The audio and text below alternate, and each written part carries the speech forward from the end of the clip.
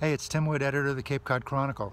I'm here at Veterans Field in Chatham, where there will be an Independence Day fireworks display for the first time in 45 years this summer. You can read all about the plans in this week's paper. Also this week, Harwich selectmen begin the process of finding a new town administrator. A dispute over a proposed renovation to a highly visible commercial building in Orleans.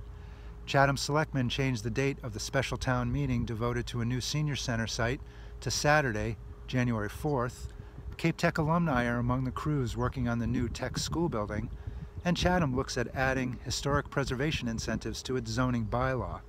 Plus, Santa arrives at the Chatham Fish Pier, Monomoy High wins its Thanksgiving Day football game, and the Chronicle's Helping Neighbors campaign continues for the benefit of the family pantry of Cape Cod.